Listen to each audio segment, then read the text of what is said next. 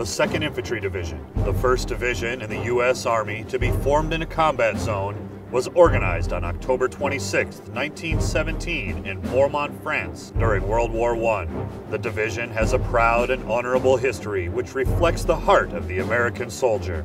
Having fought in four wars, the 2nd Infantry Division is one of the most decorated divisions in the United States Army.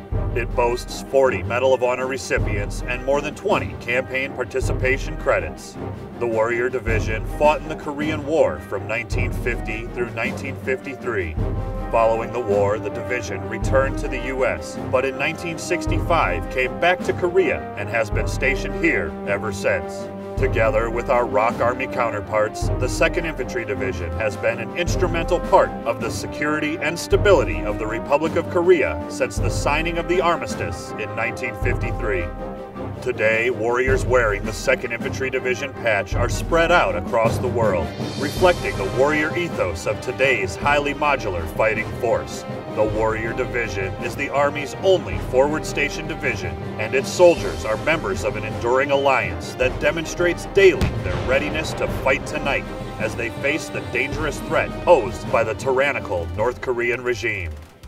Located at Camp Red Cloud, the Tribe Battalion consists of the command team and the division staff. Headquarters and Headquarters Battalion provides the 2nd Infantry Division a mission command capability to sustain division headquarters readiness and to conduct armistice partnership activities. HHBN also performs non-combatant evacuations and establishes a mission command network in order to support combined decisive operations. The 1st Armored Brigade Combat Team at Camp Hovey is a combined arms team with cavalry, infantry, artillery, and armor that deters aggression on the Korean Peninsula. Manning some of today's most impressive and modernized equipment like the M1A2 SEP, the M2A3 Bradley Fighting Vehicle, and the Assault Breacher Vehicle, the Iron Brigade is the most capable armored force in the Asian Pacific Hemisphere and is ready to conduct a wide spectrum of unified land operations. 1st Brigade also houses the 23rd Chemical Battalion, the only chemical battalion that directly supports a division anywhere in the Army. The 2nd Combat Aviation Brigade at Camp Humphreys conducts combined full-spectrum aviation operations throughout the Korean theater to support armistice operations using the most modernized Kiowa, Apache, Blackhawk, and Chinook helicopters. The Talon Brigade can transition to hostilities and conduct full-spectrum aviation operations on a moment's notice throughout the peninsula to support the 2nd Infantry Division, 8th U.S. Army, and the Combined Forces Command. The 210th Field Artillery Brigade at Camp Casey provides general support fires with alliance partners to maintain the armistice and deter North Korean aggression. With artillery weapons like the Multiple Launch Rocket System and Paladin, the Thunder Brigade provides lethal fires in support of the Ground Component Commander to protect the greater Seoul metropolitan area and support unified land operations. 2ID faces an ongoing threat from North Korea, stands ready for any contingency, and is fully trained to adapt and overcome all threats to the division and the alliance. To maintain readiness, we train thoroughly and regularly with Korean augmentees to the United States Army, or KATUSAs.